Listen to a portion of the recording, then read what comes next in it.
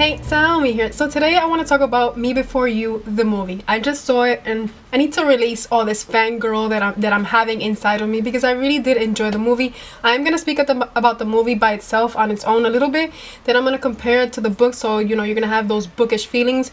And then I'm going to tell you what's different and what I saw different from book to movie. Now I'm not going to elaborate on everything because there were a lot of things that were different. Some things were altered. But I'm not going to elaborate on everything that was different in from book to movie. I'm just going to point out the most important details that I thought were essential to the plot line or just were essential per se. Um, but honestly, speaking about the movie on its own, on by itself, without it being compared to the actual book, I love the movie. The movie had great acting the movie was beautiful by itself on its own honestly i have to admit that. You had great acting by these two people that were just simply lovely together. They had such beautiful chemistry and i simply loved it. I love lou who is Emilia and i love will who was um, sam. I love the portrayal of these two characters that i enjoyed reading throughout the book but obviously comparing them on their own they did an amazing job. And this is in my opinion i can't see anybody else playing these roles. And you can give me a three four hour movie on these two people and I will devour it because I really, really enjoyed watching these two people just bring these characters to life and I really enjoyed that notion and I really enjoyed the movie even if I wasn't going to compare it to the book. On a side note, I am going to mention that there were scenes that if you didn't actually read the book, you were a bit perplexed because it was like, wait, but when did he lose his job or when was this happening? There were things that were eliminated, people that were taken out. Some of them I didn't care about, but others I will elaborate a few in a few minutes about. Talking about the bookish feelings that I felt for the movie, I really did enjoy the opening scene because the opening scene was exactly as in the book. Some things were altered, I am gonna say that. I didn't mind that some things were like removed. You also have Louise's quirkiness, her individuality throughout her clothes is the same thing as in the book. You know that Lou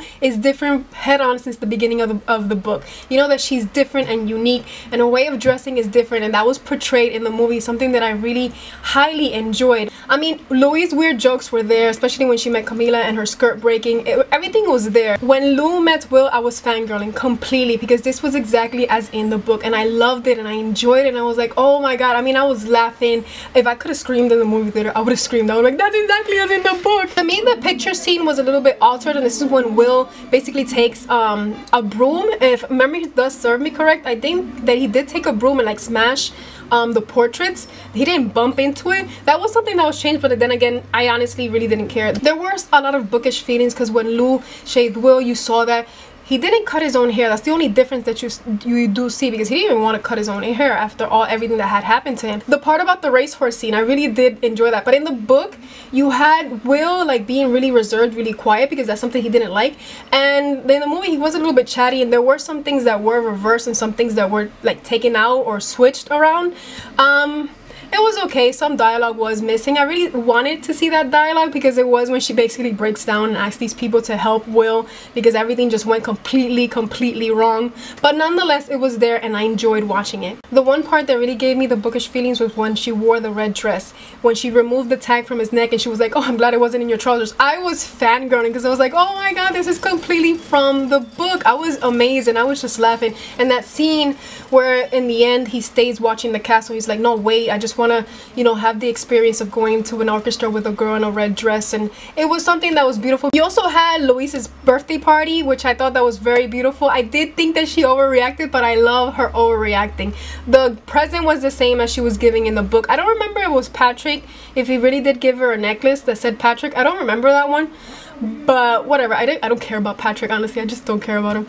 But um the bumblebee tights I was like oh my god what? It, she just I, I think she overreacted but I loved her overreaction honestly. I loved the way she expressed herself. She was like oh I want to try them on. I was like yeah. I did think that um when Will had his scars seen by Lou for the first time it was when he went on a six month doctor's appointment. Not when Nathan was taking out his shirt you know because he was sick and he doesn't register his body temperature the same way normal people do but I was that was the only thing that really did confuse me the beach scene is one that I really didn't enjoy because it's one scene that I really loved from the book and when she's expressing herself that she actually says it. Some things were I think removed if memory serves me correct but that scene where she says that oh, I'm pouring my heart and soul out to you and all you want to do is watch me see you get killed or something like that. I'm paraphrasing of course was something that was very powerful because I really did enjoy that part that beach scene because it was very strong and what it did impact in Louise's life because no matter what she tried to do to him to change his mind, convince him of the fact that, you know, not to kill himself or, you know, to end his life for everything that's happening to him.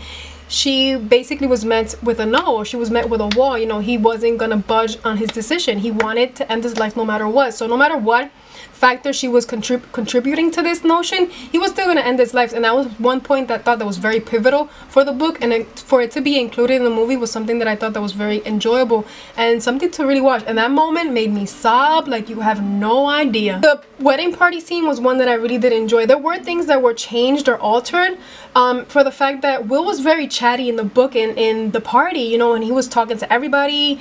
And in the movie, he was very reserved and he, he was even talking to somebody in the book and what happened here in the movie was that they altered it so Lou can basically like talk to her but the scene that I really did love was the fact that they danced and the way they were dancing I was like oh my god yes this is so cute the only thing that I didn't like from the wedding scene or the wedding party scene or whichever one is the same thing was that she wore a blue dress and she didn't wear a blue dress to that wedding. She wore the red dress that Will loved. That's why she wore that dress because Will loved that dress.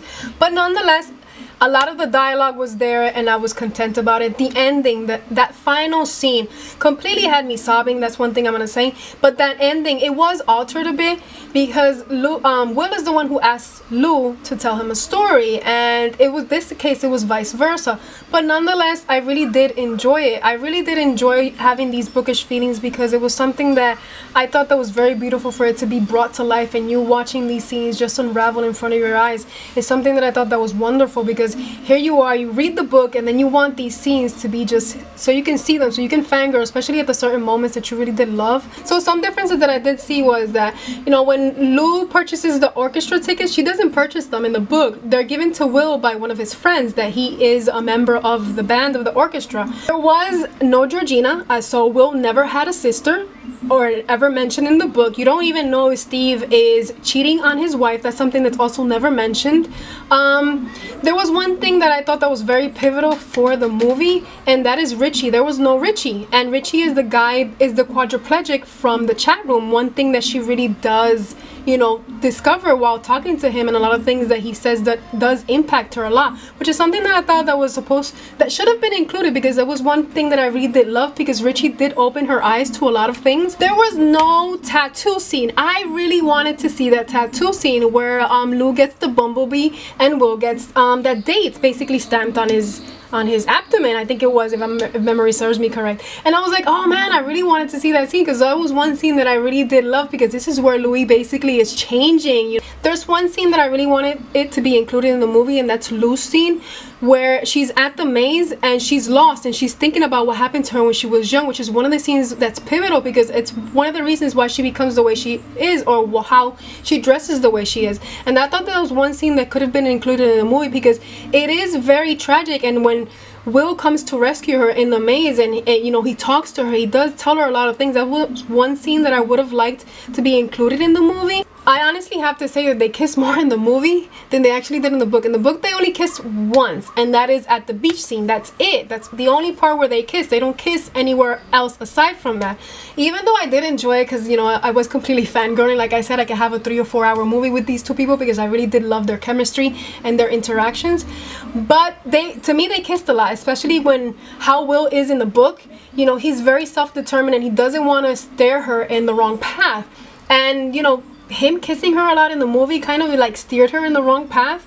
There is a video that I did enjoy and that's one that Lou finds in Will's computer where he's very active and he you know it does show him that he travels a lot also when they're leaving the wedding that race that they have I was like what this is just it was just beautiful and gorgeous and I loved it. But overall, I really did love this movie. I enjoyed it so, so, so much. I mean, I fangirled so much. I sobbed. I laughed out loud because it was just a movie that was so beautiful. And the ending, the ending to me was just like in the book. It was so beautiful just for everything to be captured. And like I said, there are some differences. You do have a lot of bookish feelings, but the movie is very beautiful and very wonderful to go and watch. And I highly suggest anybody to go and watch this movie because the movie is very lovely and it's something that you're gonna enjoy.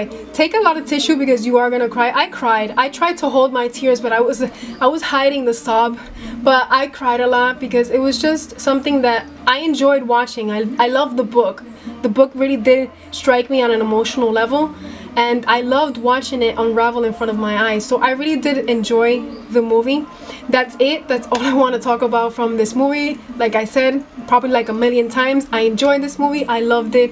I want to thank you for watching. If you want to comment down below and tell me if you watched the movie and you enjoyed it or whatever you want to talk to me about feel free. Right down below. We'll talk we'll chit chat we'll gush we'll fangirl whatever. Um that's it for my video. I want to thank you for watching and until next time